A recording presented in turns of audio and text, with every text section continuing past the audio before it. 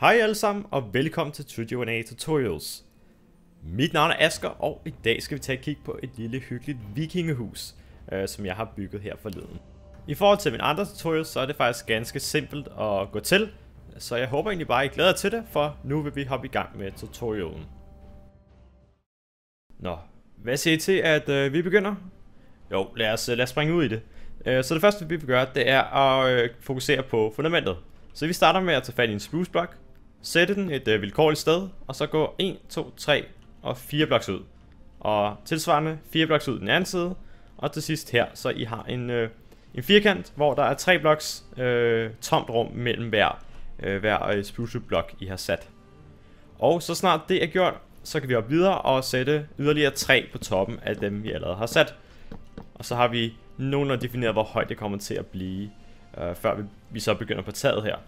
Hvad vi så har tænkt os at gøre næste gang, eller som det næste, det er at øh, forbinde de her stolper med hinanden på denne vis. Sådan her, og når det er overstået, øh, så i hvert hjørne vil vi nu øh, tilføje en ekstra blok. I ligesom forestiller jer, hvis I forestiller jer, at den her stolpe, den er sådan længere end de her. Det er sådan det. så, når det er gjort, øh, så kan vi hoppe videre og øh, beslutte os, hvor øh, vi ikke har tænkt os, at vi skal have vores dør. For I kan nok se her, vi kan jo ikke sætte, øh, vi kan jo ikke sætte spruce wood blocks der. Øhm, så her sætter vi dem egentlig bare på den måde. Og så herover skal vi så have en dør. Nu skal vi i gang med væggene. Så jeg har lige prøvet at, øh, at opdele mit inventory, som I nok kan se her. Så det her det er væggene, og det her det er så alle dekorationerne udenpå. Øh, I skal selvfølgelig have et gulv først, og der har jeg ligesom markeret herinde, øh, hvor jeg har tænkt mig at have det. Og den øh, stikker en ud her. Det gør den simpelthen fordi, at vi skal have en dør der. Og man behøver ikke at lave den ud af almindelig, øh, almindelig oak. Man kan også bruge spruce, hvis det er det. Men for væggene, til væggene, der skal vi starte først og fremmest med at sætte stone bricks hele vejen rundt. Og så putter vi ellers bare cobblestone øh, på toppen. Og man kan selvfølgelig også lave vindue her, hvis det er det, man har lyst til. Det kan I selv styre. Men jeg har faktisk ikke, jeg har faktisk ikke nogen vinduer i den, i den første etage. Af en eller anden grund. Nå, either way, lad os hoppe videre til dekorationerne. Okay, vi springer ud i øh, dekorationerne uden på huset her. Så det første vi gør, det er at tage fat i en chisel stone brick og sætte under hver af de her stolper, der, øh, der stikker en ud. Øh, dem sætter vi hele vejen rundt, og det næste vi så gør, det er simpelthen at tage fat i cobblestone walls, sætte dem øh, her og blokken over, og det kan vi også gøre herover bare lige for, for reference. Så kan vi tage omvendt øh, spruce wood stairs, og så putte fence på toppen her. Og så som det sidste, kan vi putte øh, stone slabs på hver sin side, og så kan vi bruge trapdoors. Og det gentager vi egentlig øh, hele vejen rundt. Der er ikke rigtig nogen forskel der. Det er faktisk fuldkommen symmetrisk på alle vinkler, det her hus. Lige på nær døren der. Nå, øh, lad os øh, gå videre til det næste skridt. Øh, vi skal først og fremmest have fat i noget spruce wood, og så skal vi sætte det på toppen af vores stolpe her. Det gælder faktisk hele vejen rundt, og det forholder sig også sådan, at det her hus øh, laver det på en side, så skal det også gentages øh, ligeledes på den anden side.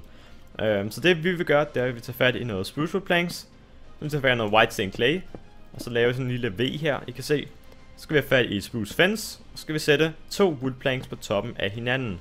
Uh, og det gør vi egentlig hele vejen rundt, og så er det næste, vi vil fokusere på, så selve taget. Har I gjort alting korrekt, så skulle jeres øh, hus gerne se sådan her indtil videre. Jeg kan faktisk ret godt lide det her, det her udseende indtil videre. Men nu er det altså taget, vi noget til. Og til taget, der vil vi starte med at gå hen til de her stone, cobstone walls, og så vil vi sætte en slab. Det næste vi så vil gøre, det er at tage fat i nogle stairs, og så skal vi langsomt arbejde os opad til at øh, vi når hertil. Til den her white stain clay block, øh, hvor vi øh, vil sætte en omvendt, en omvendt øh, stair på, en omvendt cobblestone. Sprucewood stair. Fint. Så skal vi have fat i vores, øh, vores øh, sprucewood planks, som vi sætter her og her. Den vil vi så også sætte på toppen øh, af vores omvendte stair, så den liner op med den her. Så skal vi fat i en slab, og så sætter vi en opvendt stær på toppen af vores slab. Så skal vi have fat i en stær, en stær, og så skal vi i gang med at lave øh, det her ting. Um, så der kan vi starte med at sætte en plank, en omvendt stær, og så en almindelig stær. Hvad man så vil gøre, øh, hvis man skulle ligesom øh, forbinde dem her i midten, det vil jo egentlig bare være at lave et lille form for kryds, øh, som vi hopper en blok læ længere ud her. Bup, sådan der. Øh, det man så vil gøre, det er egentlig bare at øh, gå fra alle sider imod midten, og så vil der jo automatisk komme et punkt i midten, hvor man så vil sætte en special plank. Man kan også gøre det, at man tager fat i slabs og sætter. Øhm, hvis man er til det. Det kan man også gøre. Men øh, jeg ved ikke, om jeg skal vise, måske vise en anden side af, hvordan man også kan gøre det. Øh, så faktisk har jeg lige været over at fjerne den her blok, fordi jeg føler, at det ser pænere ud, når man faktisk, øh, altså hvis vi forstår indgangen her, øh, der synes jeg, det ser pænere ud, at den ikke, øh, den ikke går sådan her, hvis I forstår. Lige på, lige på at demonstrere det. Det er bare, bare min, min opfattelse. Nå, men det fungerer altså på samme måde øh, på, på de andre sider, øh, som, som det vi har gjort en sted. Så det er jo lidt en gentagelse, må man jo øh, erkende. Så øh, sådan her gørs det. Der er ikke rigtig så meget der. Uh, nu kan vi jo så hoppe videre til selve øh, høet her, som vi skal have fat i. Så vi sætter vores høballer sådan her. Sætter dem hernede. Sætter dem her. Og så lige til sidst sørger vi for, at man ikke kan kigge igennem. Så det er jo egentlig meget simpelt, og man gentager det egentlig bare hele vejen rundt. Den er ikke sværere end det. Det var da meget fint. Vi er faktisk øh, færdige med huset nu. Altså for mit vedkommende, så synes jeg, at det gik meget hurtigt med at lave det her hus. Der var ikke rigtig så meget, så meget der. Jeg håber også, at I kan lide det egentlig. Altså det er jo lidt... Øh, jeg prøver jo lidt at gå efter noget mere simpelt her med mine seneste tutorials. Øh, prøver, øh, prøver at lave noget så flot som muligt, så simpelt og kort som muligt. Altså der har I jo huset her. Ikke så meget øh, ved det. Jeg håber, I kan bruge det. Hvis du er en af dem, som faktisk ikke rigtig kan lide, at du bruger høballer i dine øh, byggerier, måske synes det ser grimt ud, eller at det er for svært at øh, skaffe af det hvide, jamen så kan man altså også gøre det, at man bruger Dark oak wood og øh, Sprucewood til sit byggeri, som vi kan se her. Øh, det giver nemlig en lidt anden, øh, lidt anden øh, farve, kan man sige, men det er efter min mening øh, også ganske fint at bruge. Det ser ikke, det ser ikke værst ud. Jeg har også gjort det på min, min øh, uh, seneste tutorial, der, uh, der brugte jeg også lidt samme stil her.